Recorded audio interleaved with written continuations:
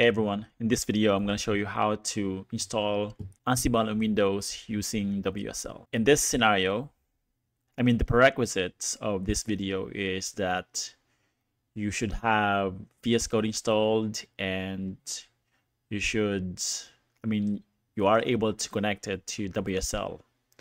So as you can see, I have Ubuntu installed um, and this is the prompt, right? And if I type pwd, I see that that's the, I mean, that's the directory that I'm in right now. So let me actually just disconnect this, uh, this remote connection or connection to WSL and show you how I did it in VS Code. I do have a separate video on how to, uh, in detail on how to uh, connect uh, VS Code to WSL, and that's in my uh, channel. But uh, let me go ahead and connect VS Code to WSL. So to do that, you have, just have to click this icon here, open a remote window, and you click connect to WSL. And that will see here the prompt that will start uh, connecting VS Code to WSL. So in order to be able to you know use VS Code to like edit files that you have in your uh, Linux or in this case Ubuntu.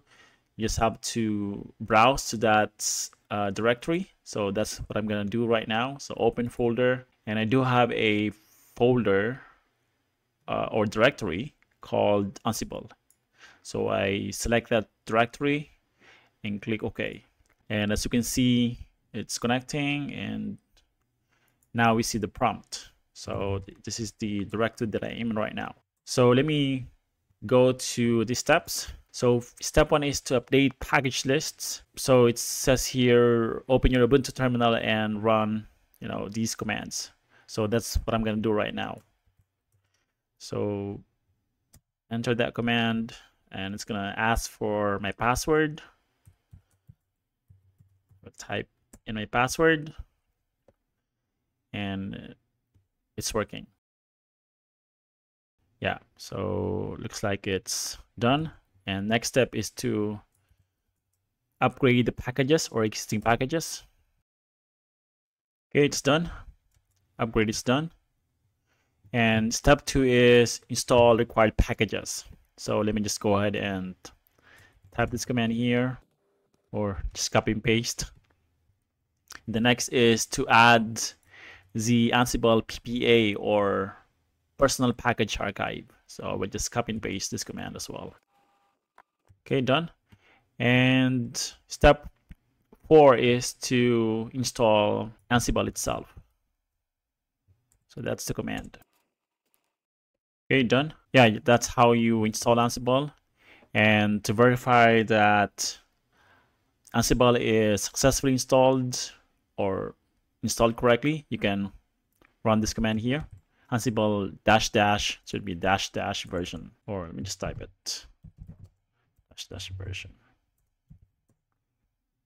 Okay, so let me just make this Okay, so yeah, so we see that Ansible uh, is installed and we also see the uh, Python version here. So yeah, that's how you can successfully install Ansible on Ubuntu in this case or Windows using WSL. So uh, hopefully you found this video useful. If you have, uh, please don't forget to hit like, subscribe if you haven't already, and I'll see you in the next one. Bye for now.